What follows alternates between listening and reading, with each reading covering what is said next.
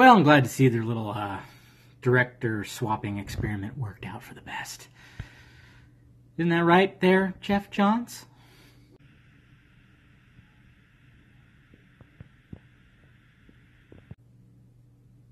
At least there's that. But still.